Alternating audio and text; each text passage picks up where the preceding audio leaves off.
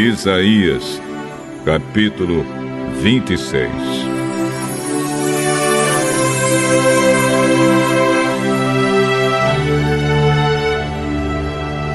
Naquele dia, o povo de Judá cantará este hino. A nossa cidade é forte. Deus nos protege com altas muralhas. Abram os portões da cidade e deixem entrar o povo que é fiel a Deus e que faz o que é direito. Tu, ó Senhor, dás paz e prosperidade às pessoas que têm uma fé firme, às pessoas que confiam em Ti. Confiem sempre no Senhor, pois Ele é o nosso eterno abrigo. Ele rebaixou os vaidosos e humilhou a cidade orgulhosa em que moravam. Ele derrubou e arrasou a cidade deles. E agora os pobres e os necessitados pisam as suas ruínas. O caminho das pessoas direitas é fácil. Tu, ó Deus, justo, tornas plano o caminho por onde elas andam.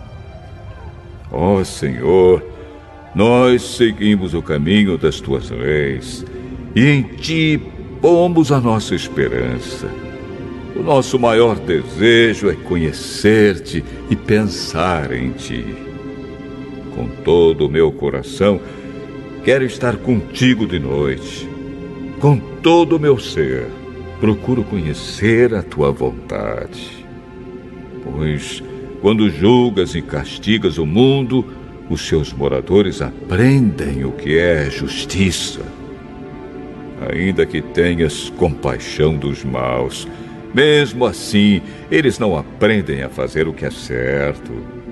Mesmo aqui neste país onde o povo é direito, eles continuam a fazer o que é mal e não se importam com a grandeza de Deus, o Senhor.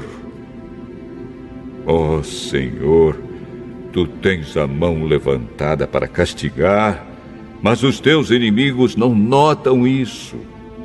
Porém, quando virem o grande amor que tens pelo teu povo, então ficarão envergonhados. Que o fogo da tua ira os devore Ó oh, Senhor, tu nos fazes prosperar. Tudo o que conseguimos é feito por ti. Ó oh, Senhor, nosso Deus, temos sido dominados por outros povos e pelos seus deuses, mas confessamos que só tu és o nosso Deus. Aqueles povos estão mortos, não voltarão a viver são somente sombras, não ressuscitarão. Pois tu os castigaste e destruíste, e ninguém lembra mais deles. Tu, ó Senhor, fizeste a nossa nação ficar maior, aumentaste o território do nosso país, e isso trouxe glória para o teu nome. Castigaste o teu povo, ó Senhor, na nossa aflição, oramos a Ti. Como uma mulher que está dando à luz se torce e grita de dor, assim estávamos nós por causa de Ti, ó Senhor. Nós sofremos dores de parto e nos torcemos, mas não demos nada à luz. Não conseguimos nenhuma vitória para o nosso país nem fizemos aumentar o número de pessoas na terra. Os mortos do nosso povo voltarão a viver. Os seus corpos ressuscitarão.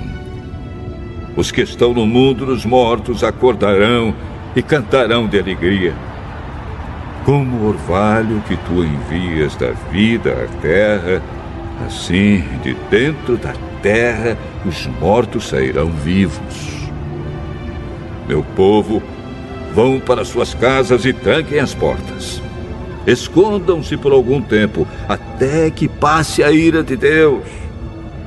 Porque o Senhor Deus virá da sua morada no céu. a fim de castigar os moradores da terra por causa dos seus pecados. Pois a terra não esconderá mais os que foram mortos, mas deixará que apareçam todos os crimes de sangue.